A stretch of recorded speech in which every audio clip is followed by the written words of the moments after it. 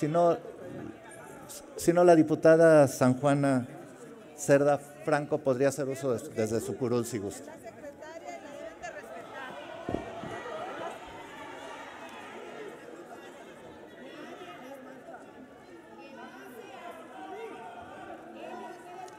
Les ruego por favor que podamos desahogar esto.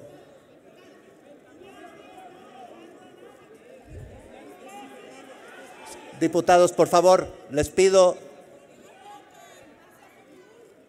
les pido orden con postura para poder continuar con la sesión.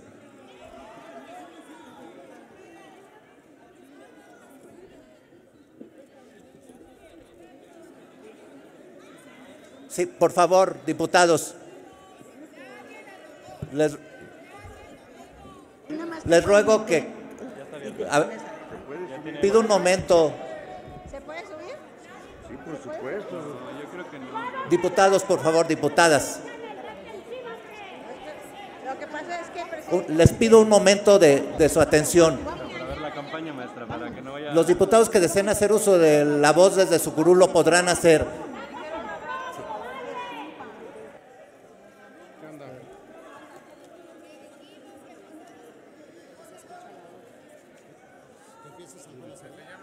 Sí, le pido, si quiere, diputada, puede hacerlo desde su lugar.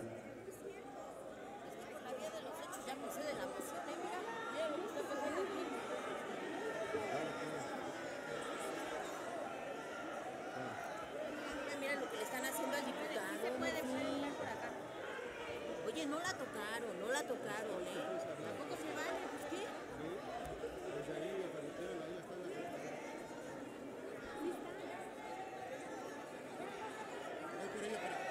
¿Voy para allá para que pase? Sí. Pues sí, como ella quiera.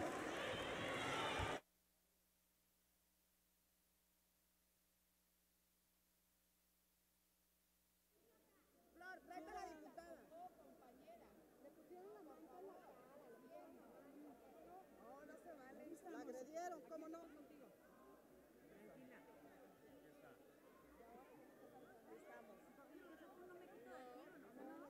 Vente, diputada.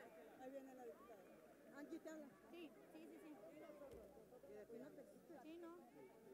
Y de aquí le damos el lugar a los oradores. Aquí, aquí custodiamos a todos los oradores. Ya, pero ya que venga y que se arranque. Gracias.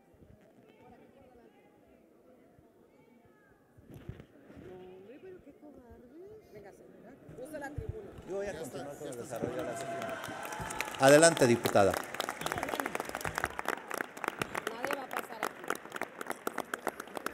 Dictamen de las Comisiones Unidas de Hacienda y Crédito Público y de Seguridad Social que expide la ley de la pensión universal y establece el seguro de desempleo. Con su permiso, señor presidente, señoras y señores legisladores, todos, con la venia de todos ustedes. La pensión universal y el seguro de desempleo constituyen una necesidad ineludible en el marco de las recientes reformas de flexibilización laboral. Si se flexi- flexibiliza el mercado laboral, tenemos que proteger a los trabajadores y a las trabajadoras y a la población en general con la ampliación de sus derechos sociales. En Europa, esto se le ha llamado flexiguridad en esa política de Estado implementado hace tiempo. Y el dictamen que hoy se pone a discusión tiene por objeto expedir la ley de pensión universal y establecer el seguro de desempleo, mismo que fue propuesto en un origen por el Grupo Parlamentario Nueva Alianza desde el 18 de septiembre de 2012. La pensión universal se plantea como un derecho eminentemente personal, intransferible e inextinguible. Es un derecho incluyente, pues el universo de beneficiarios abarca a quienes tengan 65 años de edad o más. Y a diferencia de la iniciativa del Ejecutivo, beneficia a los adultos mayores que ya gozan del derecho a una pensión siempre y cuando sea menor a la cantidad de 1.092 pesos que contempla la pensión universal que hoy discutimos. Incluso los adultos mayores que ya sean beneficiarios de algún apoyo económico similar a nivel local podrán recibir la pensión universal. De este modo, se mantiene el espíritu de la reforma y se respeta el principio de la universalidad. El Grupo Parlamentario Nueva Alianza reconoce que la pensión universal, además de ser un derecho social, constituye un derecho humano que protege a un grupo social altamente vulnerable. Y por lo que hace el seguro de desempleo, Nueva Alianza ratifica su respaldo pleno a esta prestación, que tiene el objetivo de apoyar a los trabajadores formales a mitigar el impacto de su bienestar y de sus familias por la pérdida de ingresos laborales,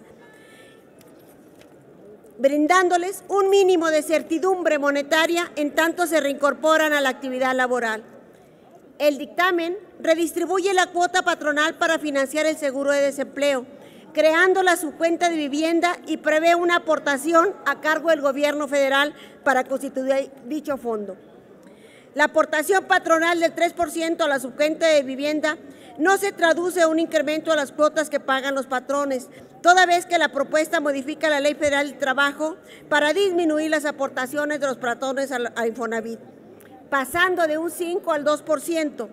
Derivado de la anterior, Nueva Alianza hace énfasis en que el financiamiento del seguro de desempleo no debe basarse solamente en la descapitalización del Infonavit. El fortalecimiento de un rubro de seguridad social no debe debilitar a otro, porque se afecta la integralidad de la seguridad social. Es importante que luego de un tiempo razonable se analice con toda seriedad la necesidad de incrementar la aportación del gobierno federal a partir de los beneficios que se esperan de las reformas estructurales ya aprobadas por nosotros. Esto en un esquema de financiamiento sostenible que no compromete las finanzas públicas del país. En Nueva Alianza estamos convencidos de que las grandes reformas en materia energética, de telecomunicaciones, financiera y hacendaria deberán de generar el crecimiento económico esperado e incrementar sustancialmente la recaudación fiscal del Estado. De tal manera que los beneficios se canalicen a financiar las políticas de protección social como el seguro de desempleo y la pensión universal.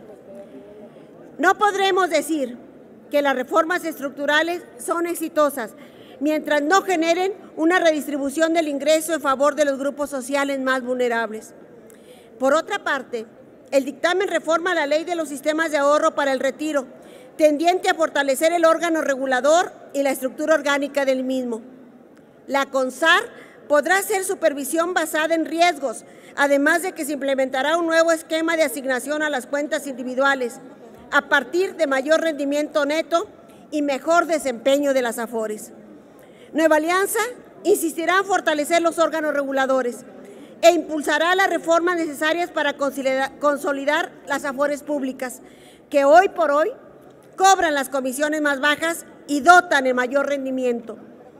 Finalmente, es importante que las nuevas figuras del seguro de desempleo y la pensión universal estén diseñadas, ejecutadas y evaluadas con la mayor eficacia y transparencia.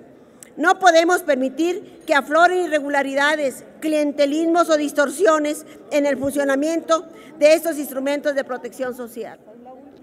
La Cámara de Diputados tiene que diseñar un esquema de supervisión permanente, donde la Auditoría Superior de la Federación incluye auditorías integrales para monitorear el cumplimiento de los objetivos del seguro de desempleo y la pensión universal. Con base en estas premisas, Nueva Alianza votará a favor del presente dictamen. Es cuanto, señoras y señores.